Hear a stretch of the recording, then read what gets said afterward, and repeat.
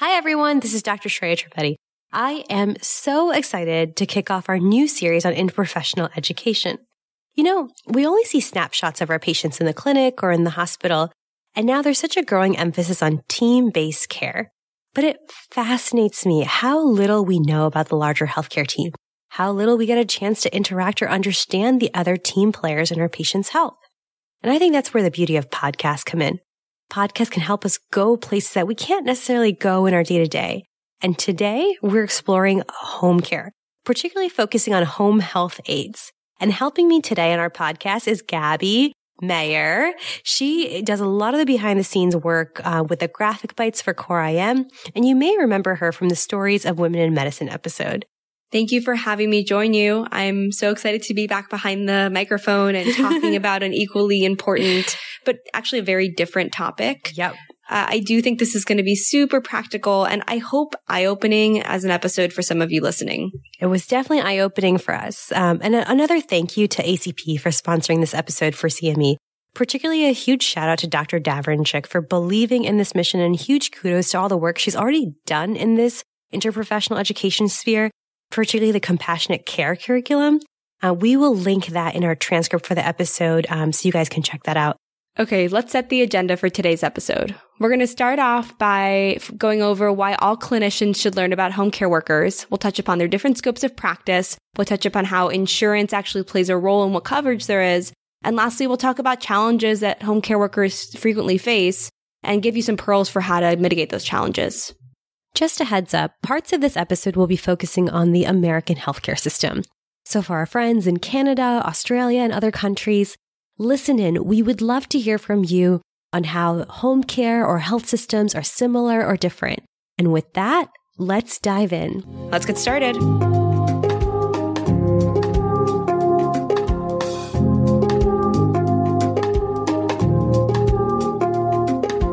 You know, despite kind of being eyes and ears in the home, uh, most of the time, uh, home care workers, which include home health aides, personal care attendants, I find that actually they're actually invisible to the rest of the medical team. That's Dr. Maddie Sterling, a general internist and health services researcher at Weill Cornell Medical College. You know, as I was taking care of patients as a primary care doctor, I was studying um, heart failure readmissions and trying to understand, you know, what was driving this, you know, a few years ago, along with everyone else. And patient after patient, you know, would talk to me about you know, relying on caregivers in the home. And, you know, Dr. Sterling, why are you asking me about my medications? You know, my daughter is helping me with that. Or what do you mean, you know, cook a meal with low salt? Like my aide is taking care of that. And I think those questions or those statements from patients really made me as a researcher think really hard because I thought, you know, that's fascinating. I had never bothered to ask about who was helping you at home. And a second point is I had never bothered to ask the person in the waiting room to come join us. You know, at first, when I was listening to Dr. Sterling, I actually felt a little bit guilty. I, I, started thinking to myself, had I been making a basic error with patient after patient by not checking in about whether they'd left a home health aide or a paid caregiver in the waiting room? But then I did a little more reflection and I, I actually decided to let myself off the hook because quite frankly, I can't remember the last time that I was taught anything about this. I don't think it's the type of thing that gets covered in medical school or, quite frankly, in nursing school. And then I think there is a knowledge gap in terms of the types of services the home health aide can provide, the difference between the skilled care that can be provided in the home through Medicare or not. The wealth of information that home health aides can provide, they are such an untapped resource. That's Anne Maria. She's been a case manager for about the last 30 years, working in large healthcare systems and now serving as senior leadership for New Jewish Home, which handles a lot of community based programs such as with home health aides. The idea is that you're trying to maintain this person in the community and either delay or avert the need for institutional care. The, the goal of providing these long term support services in the home is really to avoid the need for uh, having to go into a nursing home. And the thing is, keeping people in the home actually helps the larger healthcare system. There's some evidence to suggest that home health care can actually save health systems money. So for instance, there's a 2017 study that randomized patients to either be discharged from the hospital with or without home health services. And the group that had home health services intact saved the healthcare system about $6,000, decreased their readmission rate, and actually had lower mortality numbers and outcomes. And this is in comparison again to that similar matched control patients who did not receive these services. Plus, as a bonus, this is a really big study. It was done in a large and diverse patient population with an N of 65,000. Nice. That is a nice bonus and plus a plus for generalizability.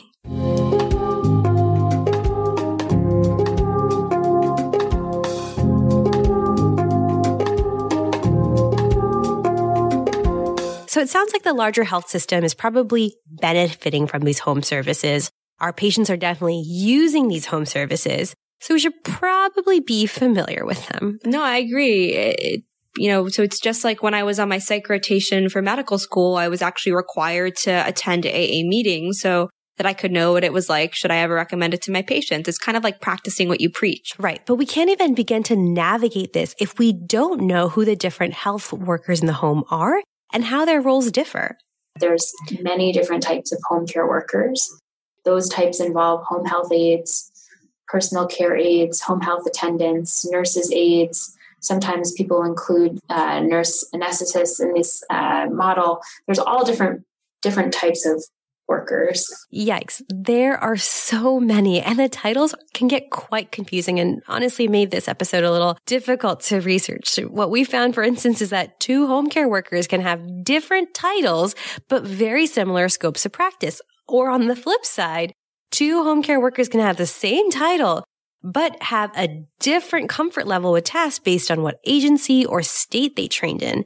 And it doesn't help on top of that. The terminology is quite regional. So for instance, in New York, it, one can call someone a home attendant, but say you go to a different state like California, it's called an IHSS, an in-home support services.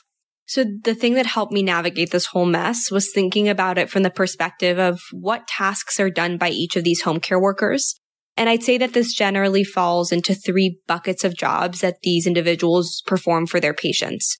I want to start with the group that has the narrowest scope of practice. And this is a group that is referred to as personal care assistants or home health attendants. Those are people who are doing maybe a little bit of shopping, a little bit of housekeeping, the bathing, the feeding, you know, sort of help with range of motion exercises and that type of thing but generally it's it's personal care. I mean, there and companionship, which I think is is important. You know, they become often the you know the link to the outside world. The you know they they are part of relieving the social isolation.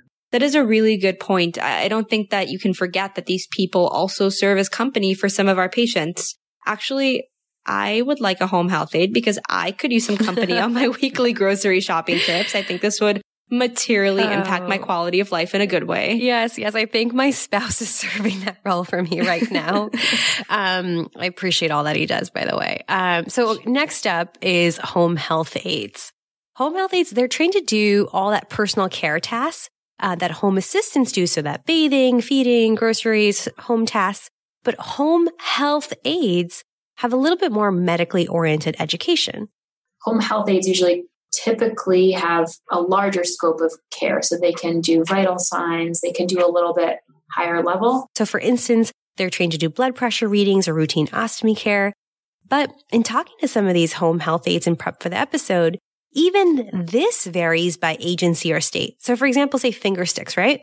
Not all home health aides were comfortable with finger sticks. And despite those variations, though, there were some definite limits to know in terms of scope of practice.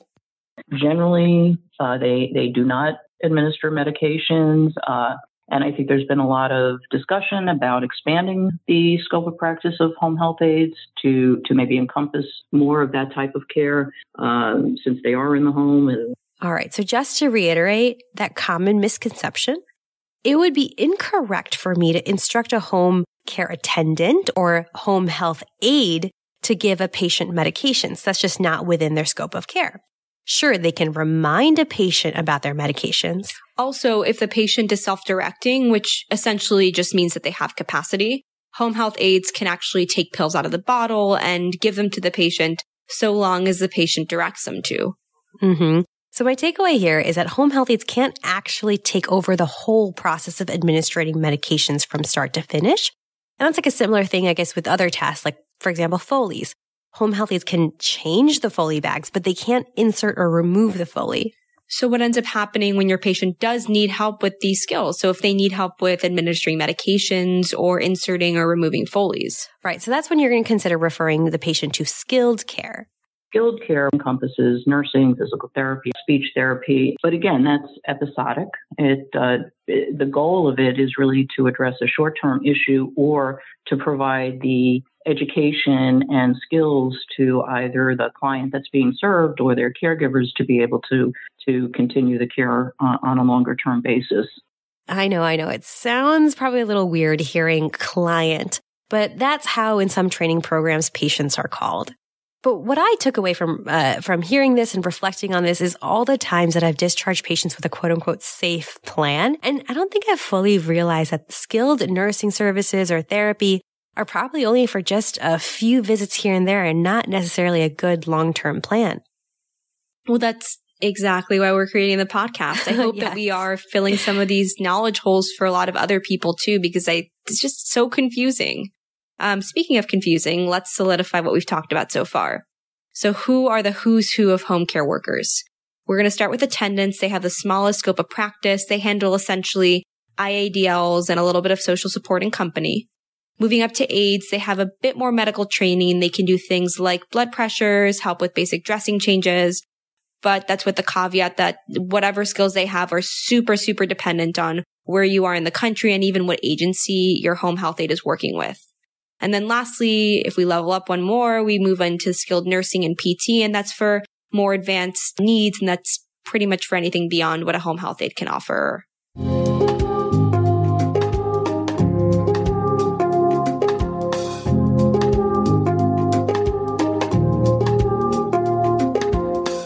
So we've talked a lot about different kinds of home care workers so far. For the remainder of this episode, we're going to focus specifically on home health aides and leave everybody else uh, behind. So the first question that I've been wondering is which of our patients can actually get home health aides and where does insurance factor into this? Ah, insurance. I know, I'm sorry. yes, I know, I know. So after researching this, I think I finally understand why the social worker who I really love gives me a deep sigh when I ask for a home health aide on rounds for a patient who say is older, comes in with recurrent hypoglycemia from trouble eating because of his esophageal cancer. And I think, hey, you know, I think he could benefit from some help with uh, getting a puree diet and groceries and things like that. Okay, so she's giving you a deep sigh because this patient has Medicare and not Medicaid. Yes, you got it. Ooh, I, pass the test. yes. I feel like I have a whole new understanding now of the back and forth that happens in multidisciplinary rounds. Now that I know the basics of what insurance actually covers for home health aides. So now the question is going to be, are you going to be getting less deep sighs when you are on the wards? I know. I should do like a pre and post after this podcast. Um, but anyway, so let's go by insurance by insurance and start with Medicare. What does home health aid options look like for your patient who has Medicare? Medicare generally covers older adults uh, above the uh, 65 years and older uh, and younger disabled. Medicare pays for what we call skilled nursing care in the home. So this is episodic care. Uh, it does not pay for long-term home health care. So if somebody is leaving the hospital and requires wound care or um, ongoing uh, but short term medication management or physical therapy. So it's a pretty limited benefit. And during that episode, uh, the home care agency can determine that there's a need for a home health aide. Uh, the hours that get approved generally don't uh, extend beyond 20 hours a week. And once that episode of skilled nursing care ends, the coverage for the home health aide ends also. Ah, so that's why so many patients who are older say that they have a home health aide for three hours, for six days a week, or for four hours, for five days a week, or something to that effect. Yes, but the caveat here is that this stuff is always changing. And so those numbers might also change by the time this podcast comes out. I really hope not, but you never know. um, to recap, because that was a lot of information. When we're talking about our Medicare patients, home health aides are provided for patients who have demonstrated a need for something called skilled care. This means that under Medicare, you can't get a solo home health aide. The aide needs to come alongside its skilled nursing need, like IV antibiotics, injections, wound vac care, or some other form of skilled therapy. And once that patient's skilled need ends, so does a home health aide. There's also one more important thing to mention, which is that there's a second criterion. It gets even more complicated. So not all Medicare patients who need skilled services are actually eligible for home health care. To get covered, your patient must be considered homebound. And to that point, I think I have signed off on so many forms without really understanding how Medicare defines homebound. So homebound doesn't necessarily mean that the patient can't leave the home at all. It just means that they require some significant amount of assistance to leave. So, so they can still go to dialysis or a church if that's important to them, but it requires a considerable and taxing effort. We will link the exact definition in the infographic and our show notes. Okay, so homebound doesn't actually mean homebound. Can we just say this is so counterintuitive and I am so appreciative and grateful to the social workers and the case managers in my life who are navigating this so much better than I am. Yes, much love. So let's move on to Medicaid. Medicaid usually have to meet an income requirement below the federal poverty line. And so the thing to know about Medicaid is that unlike Medicare, Medicaid actually covers home health aides for more patients and for longer periods of time. Really, Medicaid becomes the primary payer for that long term care uh, in the home uh, pro- that is provided by home health aides. But to receive long term home health services, you actually can't just have any old kind of Medicaid. You need to have this particular kind of a plan called a managed long term care plan, which you might sometimes hear abbreviated as an MLTC in the biz, depending on what state you're in. But yes, if you're in New York City, do drop that on rounds. People now who require uh, long term support services in the home are required to enroll in what's called a managed long term care plan. There's an enrollment process that somebody has to go through to get into a managed long term care plan, uh, which could you know take several weeks. So once a person gets into the managed long term care plan, it then they, they are assigned an interdisciplinary care team, which includes a nurse and a social worker, and that the plan will make the determination uh, as to how many hours need to be authorized. Let's recap this whole process so far to make sure that we're on track. So your patient wants a home health aide. In order to get that, they're going to have to enroll in a special insurance called a long-term care plan. So once you have that insurance on board, that's when you can actually submit a request for home health care.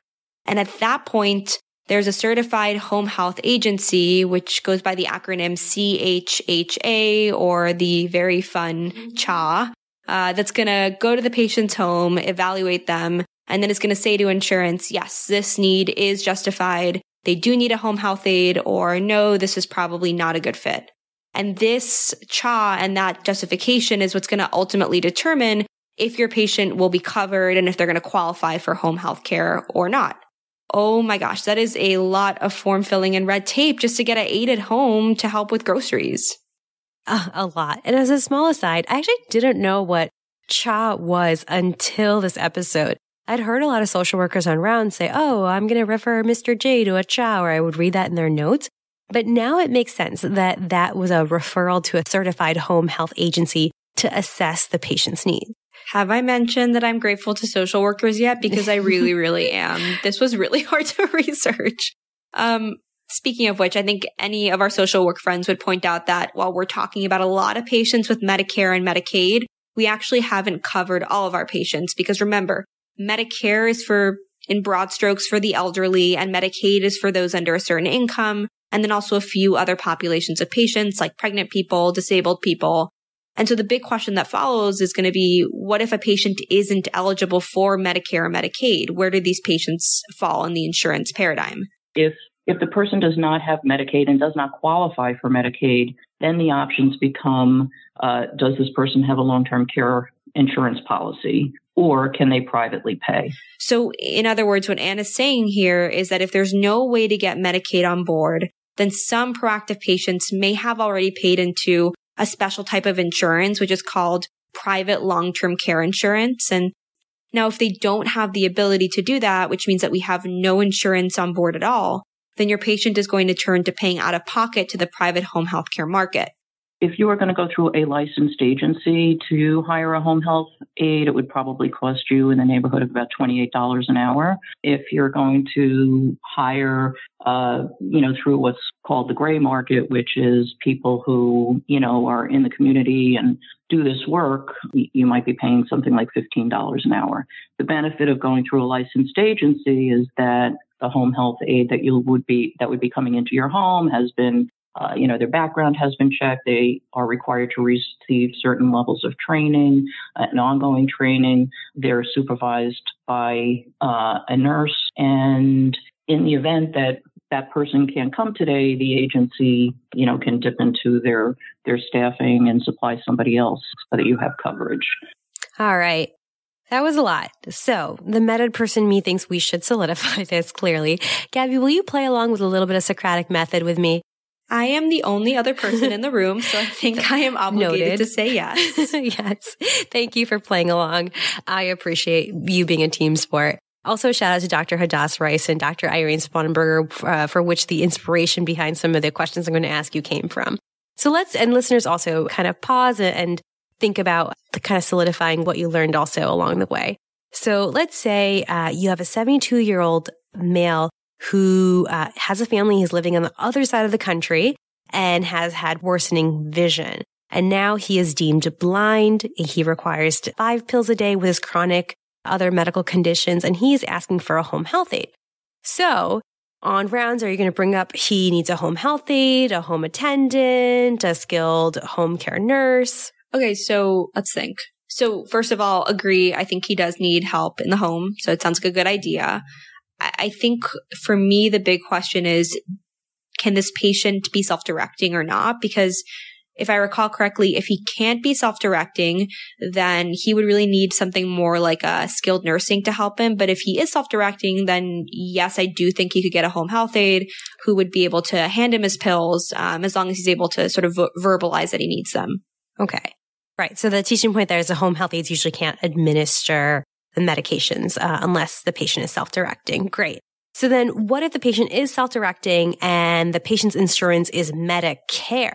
Okay. So I remember that because I just said it not too long ago that for Medicare, you need to have two big criteria. So the first is you need to be deemed homebound and the second is you need a skilled need. So for that first criteria, yeah, I, I think you wouldn't intuitively say he's homebound, but he's blind and he might actually need help leaving the home. It might be considerable and taxing as an effort. So check on that box. And then as far as the skilled need, based on what you've told me, I don't hear that he has a skilled need. And so I would say that Medicare is not really going to be an option for him for home health services. Right. I would agree. So then what would be that patient's other options? So he could opt to get Medicaid. Again, I don't know if he would qualify, but if he does, the caveat here is this is going to take a couple of weeks. Um, and he might need the services sooner. And if that's the case, then he'd really be looking at the private market. So either going directly to a home health agency and saying, Hey, I would like to employ somebody or just going into the community and finding somebody who uh, can work in his, home, in his home. Awesome. Five stars, Gabby. 5 stars. I am sweating. oh. Sorry for putting you on the hot seat.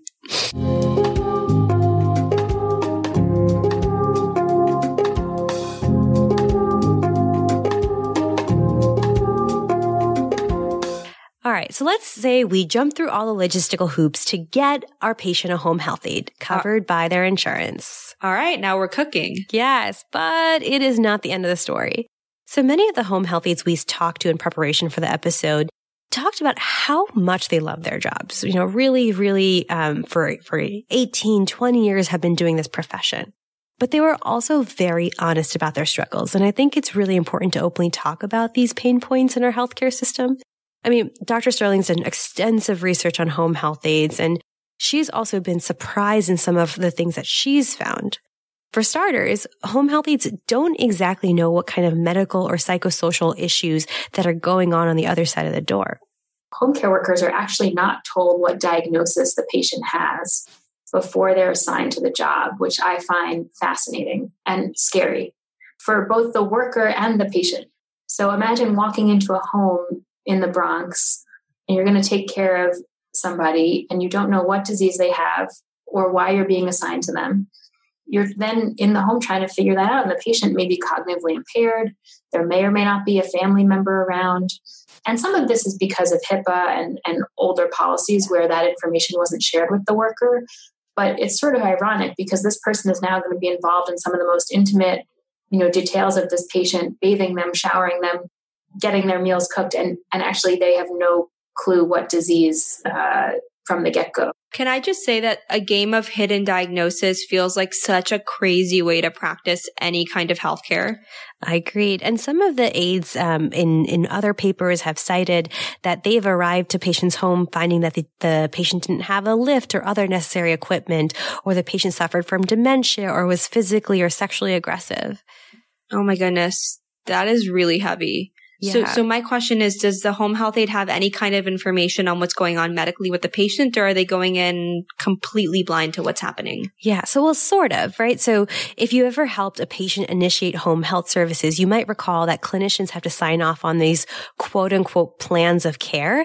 And those are created by nurses who evaluates the patient in the home. These are unfortunately very long documents that insurance is required to fill out. If you've ever seen one, you will definitely remember. Um, but what Dr. Sterling tells us from her research is that parts of these care of plans get lost in translation.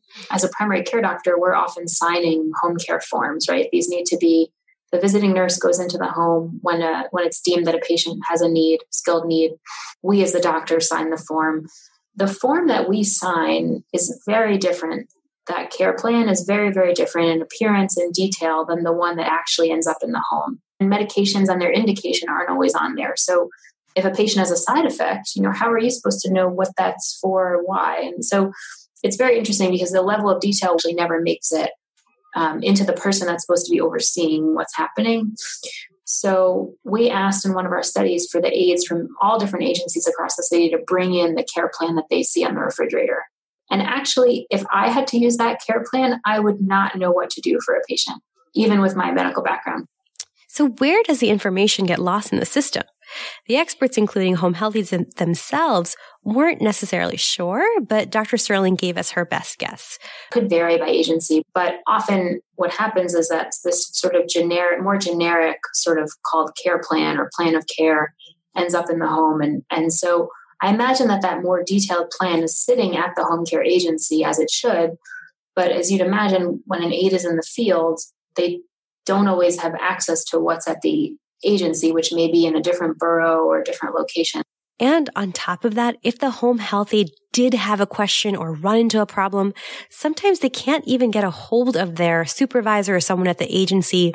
This has both been cited in a bunch of studies that sometimes home health aides will have to call three, four, five times to even get a hold of someone or get an answer. Now, let's say that this isn't an issue and that a home health aide actually does have access to the detailed care plan. The trick here is that the training isn't always going to be standardized and it may not meet the needs that they're encountering on the other side of the door. So let's take a step back. So most home health aides will get trained at the federally mandated uh, 75 hours of training. Um, and that is a lot of hours, but a lot of that focuses on more general information like infection control, transferring patients, how to deal with harassment. It doesn't address anything more disease specific. A lack of disease specific training has been shocking to me. And more recently, there have been programs to train um, home care workers in certain conditions. I study congestive heart failure, and here in New York City, this is a condition where home care workers are, are utilized frequently. Um, there really have not been formalized training programs on the disease. And so if you think about a scenario where an, an, aide may be placed in a home and not know what condition the patient has, and then they also haven't received formal training, that could be a problem. You might not be able to observe what you're supposed to be observing, triage uh, how you might if you were trained. Now, some home health aides we talked to did say they received some disease specific training on, say, signs of hypoglycemia or signs of stroke, which I think is great. But on hearing this, I think maybe some of these things can be addressed, say, in our clinic visits and asking the patient if they're okay having the home health aide come in the room too. And this is essentially like killing two birds with one stone, right? Because a lot of home health aides say that when they hear the doctor or the nurse educate the patient, first of all, the home health aides themselves actually get the education and then they can go home with the patient and reinforce whatever the clinician said. Yeah bonus points there. But there is one thing to keep in mind if you do bring the home health aide into the room. They may not always feel comfortable speaking up. There can be quite a large power dynamic implicitly present in the room. I think what I've learned from the home care workforce is it's it's a really vulnerable population and so you know majority women minorities foreign born may have erratic employment minimum wages and so something to note is that sometimes these like family you'll see this in the exam room. If you bring in we we see this all the time. You bring in a patient and you have a family caregiver or an aide or whatever and you're asking a patient you know are you taking your blood pressure medicine? And the aide and the patient's saying like yes of course. And then the aide is like behind them whispering like, no but they don't want to because they don't right they don't want to look they don't want to, a lot of the times we see they don't want to have a conflict with someone who's kind of employing them. Not really employing them, it's the agency who is. But um, you can imagine that to avoid conflict, like they're not going to want to always go against the patient um, for fear of maybe losing a job. So there's like these very delicate dynamics going on that different from family dynamics. Okay.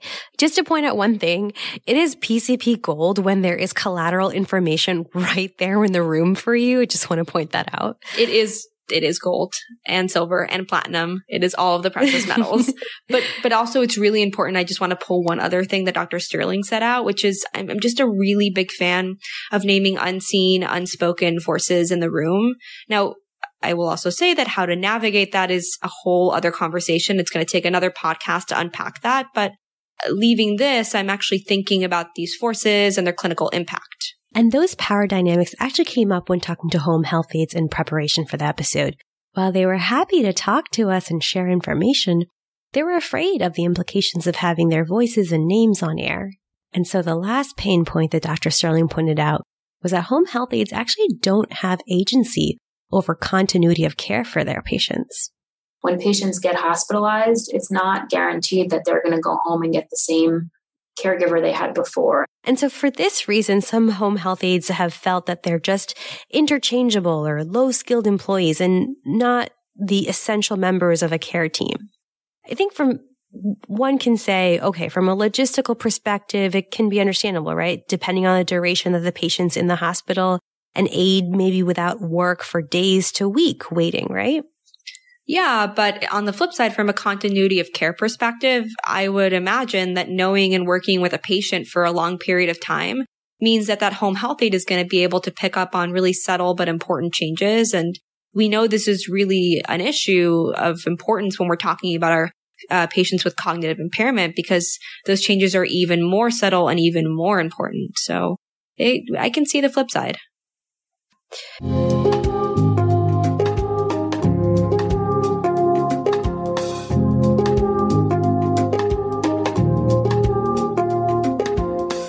So clearly there are still some kinks to work out before we can optimize the environment where we're delivering home health to our patients. But I am a perpetual optimist and I yes. promise you there is hope. Um, so let's close this episode by giving you a few actionable pearls so that when you go back into your workplace, you can better collaborate with your home health aides.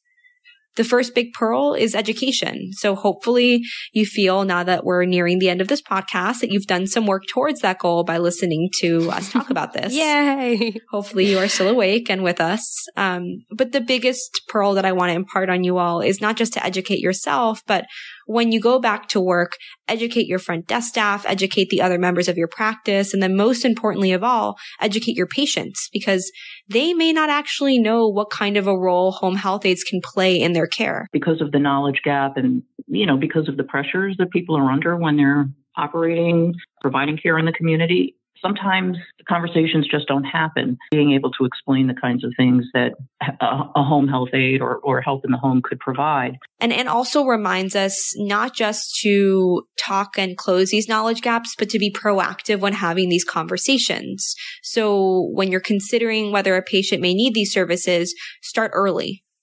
To actually become enrolled in, in a managed long term care plan, it could take several weeks, four to six weeks. Somebody has to come and do an assessment.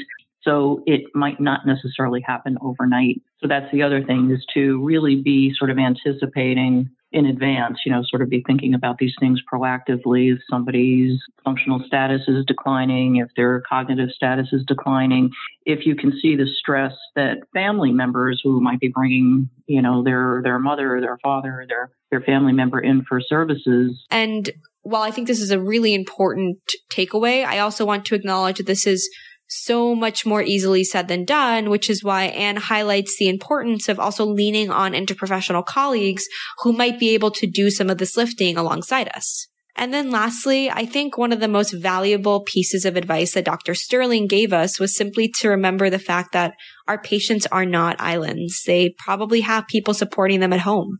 I think the first step for any clinician would be to simply acknowledge the fact that there are probably a number of people in the home that are helping the patient, um, whether that's with personal care or medically oriented care, and re- and just ask them. Uh, take the time. It's a simple question that could be incorporated into the social history. You know, who is who is helping you at home? Um, is there anyone that helps you get your medications? Is there anyone that brought you here today? Um, is there someone I should bring into the exam room? But of course, when you do get that home health aide in the room with you and the patient, it's really important to make sure to check in with them and see what additional perspective or that PCP gold they might be able to provide you. These are people, uh, once they are in place, who are with this person all the time, every day, you know, able to pick up on cognitive decline, functional decline, uh, depression, uh, non-adherence to to the care plan, I don't know how often that treasure trove of information is really tapped into. Yes, treasure troves of information indeed. And so to round out this episode, it seems like the home care world and the medical world operate in silos, rarely interacting in a meaningful way, which is unfortunately to everyone's disadvantage. And yes, bridging these two worlds is complicated and involves spending time everyone's precious resource of the day. A thoughtful system has yet to help these two worlds collaborate. I don't think there's just any silver bullet and we're probably not going to solve this longstanding issue on the podcast today. But I think similar to patient care, the better we quote unquote hand off patients to home care and create a communication channel to home care and back to us, the better the system can work for our patients. And lastly, this is a team sport. So hopefully this episode made you reflect a little bit more on how to better communicate and work with your larger interprofessional team. And that is a perfect segue. So this episode was part one of four in our interprofessional education series. Our upcoming episodes are going to be looking at other crucial interprofessional roles such as social workers, case managers, subacute rehab staff, so the ask here is if you know any people in any of these roles who would want to chat with us and come on air, please let us know. I promise we're really nice. We have a lot of fun. My grandma thinks I'm really nice. um, you can reach us if you are interested in putting us in touch with anyone. Um, reach us please over any of the core IM social media accounts, or you can just reach us at our individual Twitter handles, which are on the core IM website. Also, if you have any ideas or want to help produce any episodes on interprofessional education or health systems around the world, I am always open to working with anyone with a strong work ethic and attentive to details. So shoot us an email at hello at coreimpodcast.com. And if you like this episode, be sure to share this with your team or your colleagues. We will also link uh, on our website the CME with ACP and as always, a big thank you to our peer reviewers, Dr. Amy Shaw, Dr. Harry Sag, social worker Marlena Orme, as well as Dr. Ryan Chippendale. Props to Dr. Amy O and Gabby Meyer for the graphic, as well as Dr. Vicky Caspidis for uh, the meticulous website, and also to Arya Melikin for the astute audio editing. And as always, let's continue the conversation online on Twitter, Instagram, Facebook, uh, at our Core IM podcast page or email us directly. We'd really appreciate feedback. What are we doing right? How can we improve? And if you enjoyed listening to the show, give us a review on iTunes or whatever podcast app you use. It really does help people find us. And as always, opinions are expressed on this podcast are our own and do not represent opinions of any affiliated institutions.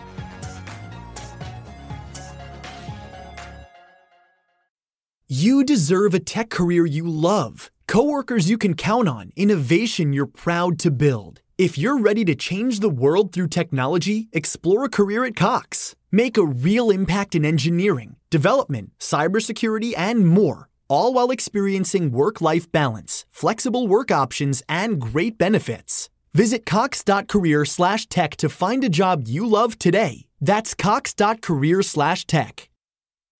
When you need mealtime inspiration, it's worth shopping Kroger, where you'll find over 30,000 mouthwatering choices that excite your inner foodie. And no matter what tasty choice you make, you'll enjoy our everyday low prices, plus extra ways to save, like digital coupons worth over $600 each week. You can also save up to $1 off per gallon at the pump with fuel points. More savings and more inspiring flavors make shopping Kroger worth it every time. Kroger, fresh for everyone. Fuel restrictions apply.